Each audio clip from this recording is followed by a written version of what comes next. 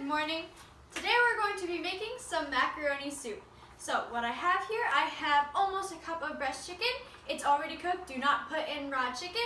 I have half a cup of my mixed vegetable, one third of milk. You can use evaporated milk, I'm just using normal milk.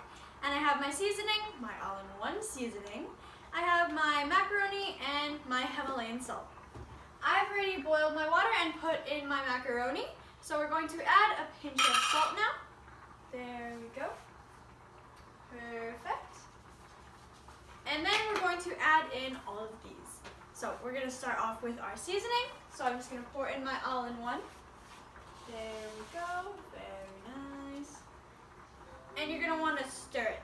So I have my stir stick. Just stir it up. Very nice.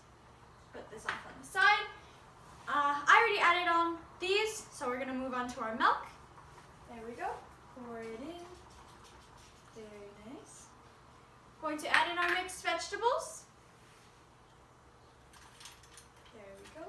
Oh, okay. And lastly, our chicken. Cooked chicken. And pour that in.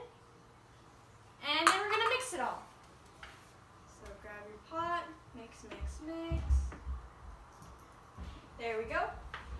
And once it's all done, then you can just, you're good to go. Thank you for watching and see you next time.